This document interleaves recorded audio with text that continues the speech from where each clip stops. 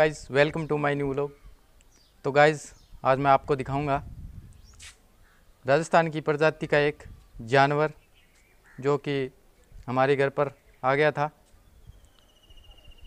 उसको वैसे तो हिंदी में कांटों वाला चूहा भी बोल सकते हैं और इंग्लिश में थोरन माउस बोलते हैं उसको। और राजस्थानी भाषा में उसको हम झावा बोल देते हैं अक्सर। तो ये जानवर, जैसे जंगली जानवर होता है, ये आम के बगीचे में ज़्यादा पाया जाता है और ये बहुत ही शर्मीला जानवर होता है। ये किसी को नुकसान नहीं पहुंचाता है। कोई जानवर इसको नुकसान नहीं पहुँचा सकता, क्योंकि ये इस पर कांटे लगे हुए होते हैं। जब इसको कोई इसके ऊपर हमला करने की कोशिश करता है, इसको पता चल जाता है तो ये गेंद की तरह गोल हो जाता है और अपना मुँह अंदर छिपा लेता है। तो आइए आज मैं आपको उस जानवर को ज़रूर दिखाऊँगा। तो इस वीडियो को ज़्यादा से ज़्यादा शेयर करें लाइक करें कमेंट करें और सब्सक्राइब ज़रूर करें।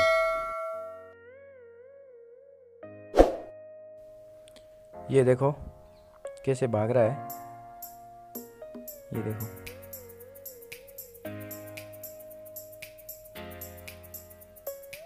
जैसे ही हम हाथ से टच करते हैं तो ये अपना मुँह है जो अंदर की तरफ़ कर लेता है। ये देखो, इसकी शक्ल डरावनी सी लगती है, लेकिन है ये बहुत शर्मीला जानवर होता है। ये किसी को नुकसान नहीं पहुंचाता है। इसकी शक्ल ऐसी ये बनी हुई है। ये देखो, जैसे ही हम इसको टच कर रहे हैं, ये जो गोल बॉल होती है, उसी की तरह अपनी शेप कर लेता है, ये देखो। बिल्कुल। गोल हो गया, ये देखो, अपना मुख अंदर की तरफ़ कर लिया है, ये देखो, और बाहर निकलेगा ये। ये देखो, ये चलने लग जाता है। और इसके ऊपर बहुत सारे कांटे होते हैं, जो कि बहुत ही तिखे होते हैं। इसको पकड़ने में भी कठिनाई होती है। अगर इसके ऊपर किसी का नंगा पैर कोई अगर नंगा पैर लेके चढ़ जाता है, गलती से तो पैरों के अंदर इसके कांटे चुभ जाएँगे। ये देखो, मैं अब इसको टच कर रहा हूँ।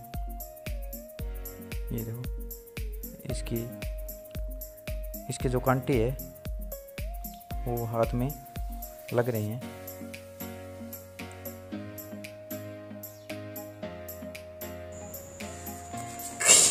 इसको मैं उठाने की कोशिश करता हूँ तो मेरे हाथ में कांटे लगे। इसको धीरे से उठाना होता है। ये देखो। आराम से। ये देखो उठा लिया है। अब ये बॉल की शेप में आ गया है। ये देखो। ये एक जंगली जानवर होता है। ये देखो। अभी ये पूरा राउंड नहीं है।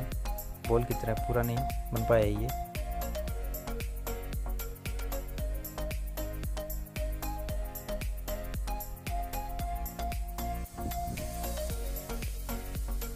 ये अपना मुँह छिपा लेता है। तो ये देखो। तो ये बहुत ही सुंदर जानवर होता है देखने में। और ये चलता है तब भी बहुत ही सुंदर लगता है। सुरक्षित स्थान पर इसको छोड़ कर आएँगे